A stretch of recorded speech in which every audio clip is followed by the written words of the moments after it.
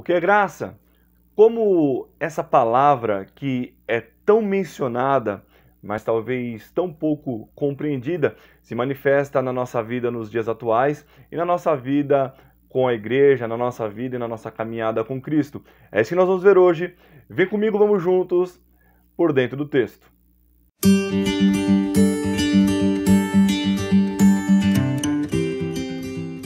Olá, eu sou o pastor Douglas Gonçalves e você está no canal Por Dentro do Texto. Se você está chegando por aqui agora, eu já peço para você também deixar o teu like aí. Se você gostar do conteúdo desse canal, já se inscreve. Nós temos postado vídeos diariamente para te ajudar na compreensão de alguns termos e alguns pontos da Bíblia, assim como indicação de livros, alguns reviews para te apoiar, te auxiliar na sua vida e na sua caminhada com o Senhor Jesus. Tá bom, pessoal?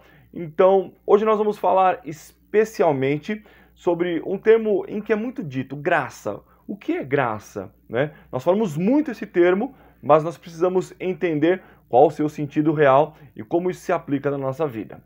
A palavra graça em português, que no grego é charis, ela basicamente vai trazer o conceito e o sentido de favor imerecido. Pois bem, toda a humanidade caiu juntamente com Adão no Éden e nos afastou de Deus. E nós nos tornamos indignos de receber qualquer favor de Deus. Então, quando Deus ele nos presta, ele cuida de nós, quando ele nos presta qualquer tipo de favor, é o que nós chamamos de favor imerecido, ou seja, nós não merecemos esse favor, mas Deus pela sua bondade, pela sua benevolência, ainda assim ele nos abençoa. Dentro desse conceito eu quero falar de dois tipos de graça. A primeira graça é a graça comum, ou seja, Deus pela sua infinita bondade e misericórdia, olhando para o homem que está caído e afastado dele,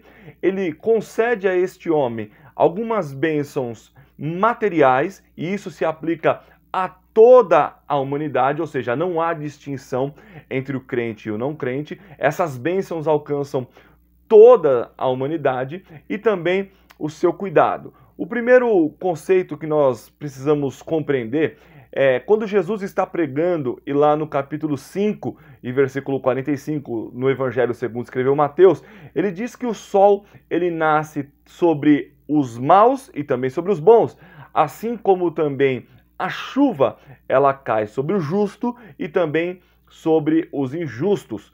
Paulo, quando ele chega em Listra e ele vai ministrar e falar de Jesus, falar da salvação é, para aquela cidade, para aqueles homens que estão ouvindo, Paulo vai dizer que Deus ele deu o sol, deu a chuva e que todos se alegraram dessa graça que foi recebida da parte de Deus. Então, a primeira coisa dessa graça comum é a provisão de Deus para toda a humanidade, o cuidado dele para com a sua criação.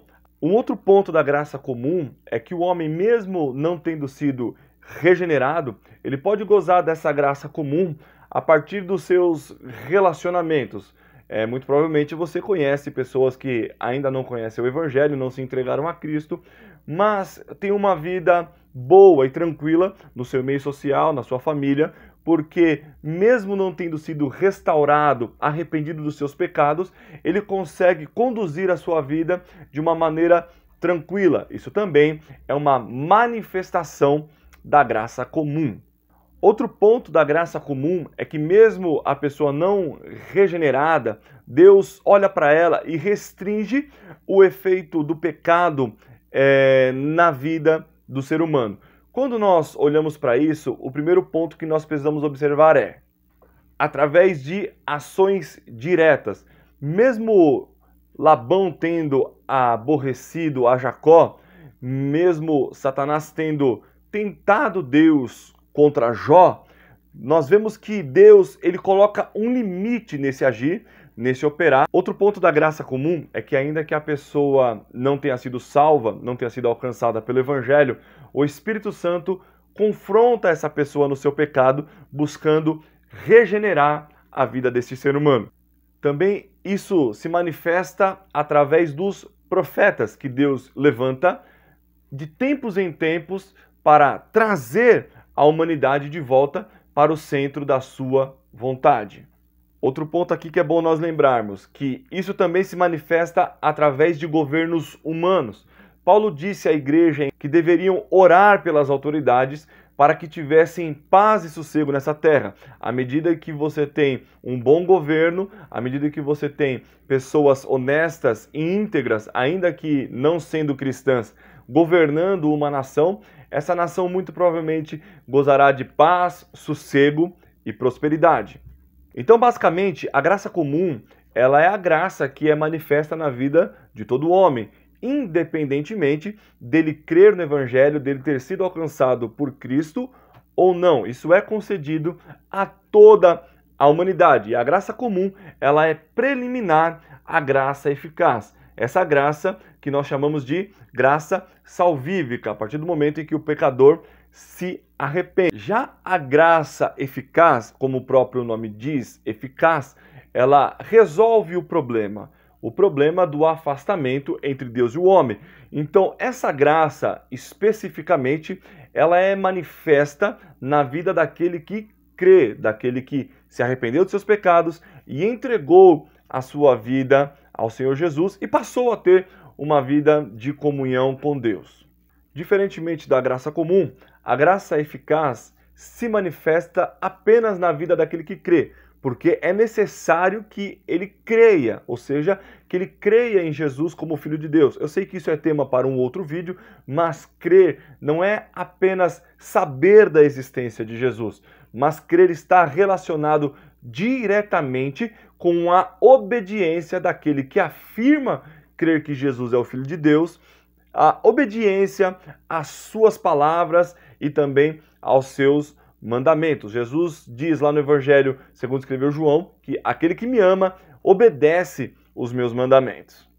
E especificamente, essa graça, ela é manifesta a partir do convencimento do pecador, a partir do momento em que o pecador, ouvindo a palavra de Deus, porque não há como é, ser salvo sem a pregação do Evangelho, a partir do momento em que o pecador é alcançado pela palavra de Deus e o Espírito Santo é, manifesta na vida daquela pessoa de forma salvífica, essa pessoa ela é alcançada pela graça eficaz, a graça que a salva, a graça que a liberta deste mundo, a graça que a leva para um novo momento de vida e de comunhão com Deus.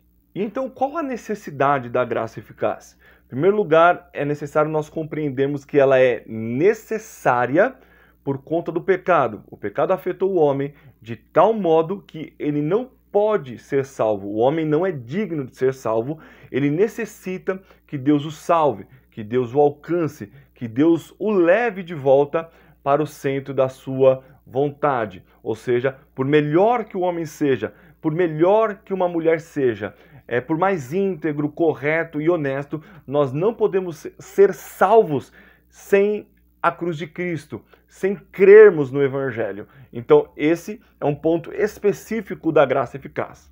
E o que é mais lindo sobre a graça eficaz é que nós, sendo indignos de sermos salvos, ou seja, éramos merecedores da condenação eterna, para que nós tivéssemos acesso a essa graça, Deus envia o seu filho para receber a condenação que você e eu merecíamos, ou seja, nós merecíamos a condenação.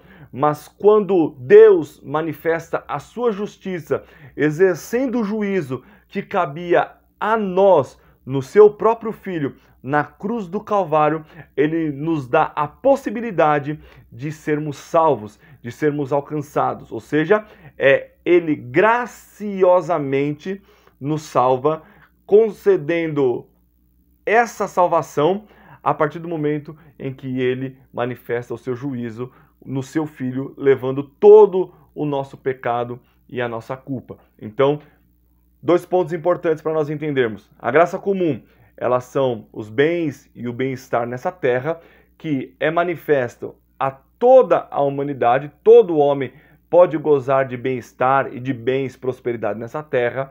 Já a graça eficaz é a graça que se relaciona com a salvação, aquele que creu, aquele que crê no Filho de Deus, aquele que tem a certeza de que Jesus morreu na cruz para salvá-lo, vive e obedece a sua palavra. Tá bom, pessoal? Espero que esse vídeo tenha elucidado aí esses pontos. Se você gostou desse vídeo, compartilhe nas suas redes sociais, comenta aqui embaixo o que você achou. Se você ainda não é inscrito no canal, já se inscreve aí no canal para nos ajudar e também nos abençoar. Tem outros vídeos aqui que podem abençoar a tua vida. Valeu, pessoal. Obrigado e até a próxima. Querendo Deus.